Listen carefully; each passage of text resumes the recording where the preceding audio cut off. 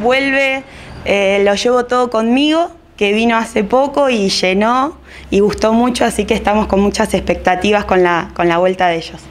Además, eh, no solamente vuelven con esta obra, sino que suman también una muy particular. Sí, la verdad que suman una nueva que tiene que ver con poesía, música y demás.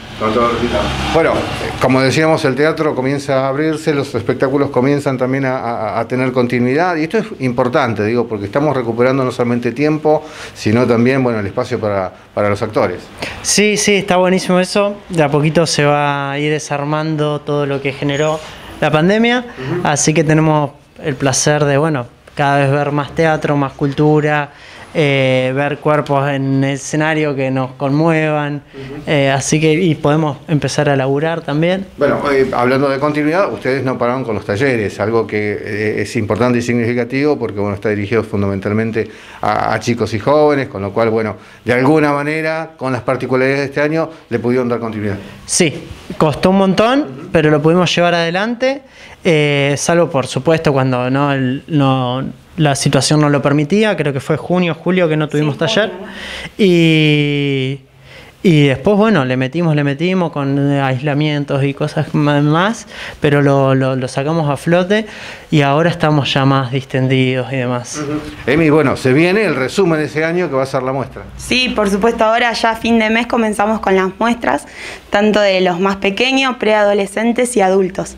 Así que nada, estamos con expectativa, ni hablar que los más pequeños siempre es una clase abierta y es mostrar lo que hicimos en el año y los que más presión tienen siempre son los adultos, pero bueno, estamos contentos con el, con el proceso sobre todo. Ya, tiene fecha la muestra? Sí, tenemos fecha. ¿Días? Son los días de la clase, el 28 de la última semana, 28, 29 y 2 de diciembre los adultos. Eh, bueno, las expectativas puestas de manifiesto si va a haber o no obra local en escena. Eh, por el momento no, pero hay eh, ensayo seguro. Por el momento no, hay una obra que sí que está en proceso, que acá tenemos, quien acaba de hablar es una de las actrices, que dirige Charo Moreno, no sé si allá hay una fecha estimativa de estreno, me parece que no, pero seguramente para el año que viene, principios de año, enero, febrero, más tardar marzo, imagino, eh, ya va a haber obra, una obra local, de producción local. Bueno, a la expectativa de mí. sí, la verdad que sí. Estamos en proceso, ¿viste? Bueno, vamos a reiterar entonces eh, em, las dos funciones de la bicicleta.